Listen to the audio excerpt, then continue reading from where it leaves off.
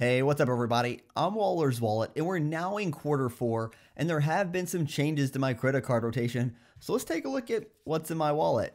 Now, if you want a simple way to help out the channel, consider hitting the thumbs up button. Also, don't forget to subscribe to the channel and turn that bell notification on as well so you don't miss out on future videos.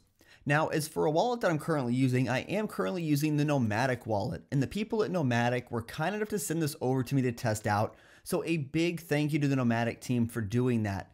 Now, I love the Nomatic travel bag, and I'm happy to be testing out and using their wallet as well. Now, I do plan to have a review on this wallet coming in the upcoming weeks or so, and there might even be a possible giveaway of a wallet. But this wallet is a super lightweight wallet, and it's extremely thin as well, and can hold a lot of credit cards. And for a wallet that only costs 20 bucks, I'm actually pretty impressed with it. But you know what? Let's talk about the cards in my wallet because that's probably why you're watching this video. And the first card that's in my wallet is the USAA Cashback Reward Plus card because this card earns 5% back on gas purchases up to $3,000 a year. And I haven't even come close to spending that amount of money on gas purchases this year on this card. But with the holidays coming up in just a few months, we'll probably be filling up the gas tank a little bit more as we drive around to see some family but I can't argue with 5% back for my gas purchases. It's a great earning rate, and the rewards deposit in my account pretty quickly as well, which always makes me happy. And if you're someone who can get in with USAA, I think this is a pretty great card for gas, even though it lacks a sign up bonus. Then the next card that's in my wallet that really shouldn't come as a surprise to anyone is the Bank of America Premium Reward card, and that card lives in my wallet pretty much full time because with my Platinum Honor status, I get a solid 2.63% back on all my non-bonus spend. So it makes it pretty hard to take this card out of my wallet because that's just a great earning rate for non-bonus spend.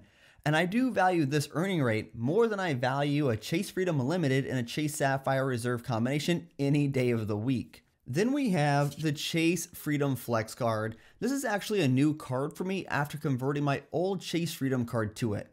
And right now, the Freedom Flex is earning 5x at Walmart and PayPal, and this even includes using PayPal Key. And I have been using this online when I pay with PayPal. I even recently bought a $500 gift card to Target. Since Target was offering 5% off on Target gift cards, then I paid with PayPal to earn 5x back as well.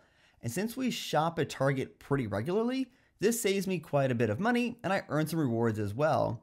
Then if I need to do any shopping whatsoever at Walmart, 5x is great to earn at Walmart as well. Then any points I earn with my Freedom Flex, I plan to just move these points to my wife's Chase Sapphire Reserve and use the pay yourself back benefit at 1.5 cents per point. And also this card is going to become my new card for cell phone payments because it has $800 in cell phone protection, which I find fantastic, especially considering I'm buying a new iPhone 12 soon. Then we have the Bank of America Cash Reward Card. Now, I usually have one of my cash rewards in my wallet specifically for dining purchases since I earn five and a quarter percent back for dining with this card. And this is a slight change because I did go from using the red Visa version to using the Susan G. Komen card. Now, this card is also going to be my grocery spend card since I earn 3.5% cash back for my grocery purchases as well. But while this may not seem like a big deal switching out versions of my cash reward card, I still am in my three month period of opening the Susan G. Komen cash reward card. And that means for every transaction I make, Bank of America is going to donate money to the Susan G. Komen Foundation. So while it's not a big change for me, it does help others with these donations. So for that reason, I did make the change to make my Red Visa card more of my wild card option here. Then one of my other cash reward cards is being used for online purchases since it also earns five and a quarter percent. But this card is behind my Freedom Flex card if a merchant takes PayPal. But if the merchant doesn't take PayPal, then my Bank of America Cash Reward card here becomes my primary card for online purchases. And since it is around the holiday time, I do plan to be doing plenty of online shopping, including the upcoming Amazon Prime Day. But honestly, I love my Bank of America setup, and I would be very happy just keeping my four Bank of America cards because they just earn so well for me. Then the last card that is currently in my wallet is the cash card. And this card has made its way into my wallet for situational use because the boost options on the cash card are actually pretty decent. I have options on it for 10% cash back on grocery spend up to $75 spend. Then I even recently saw I have a dollar off coffee shop purchases and even Wendy's is on there, which I recently had that new pretzel bun burger and it was actually pretty good. And I do drink coffee pretty regularly throughout the day, so buying a regular coffee for a few bucks and getting $1 off that is actually a pretty decent return. But now the cash card is not a credit card, it's a debit card. But the boost offers do make this a good option for certain categories.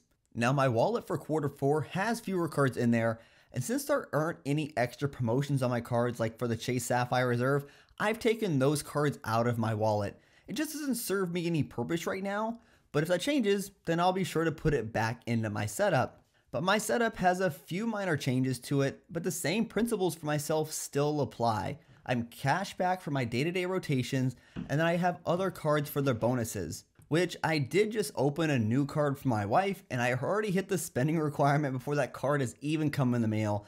I guess that's the silver lining to receiving the bills for having a new baby. So big thanks to my little man for helping us earn more travel. But that's what my current setup currently looks like. But you know what? Let me know in the comments what your current quarter four setup looks like as well. Hey everyone, thanks for tuning in this video. If you want to help support the channel, take a look at the links down in the description below.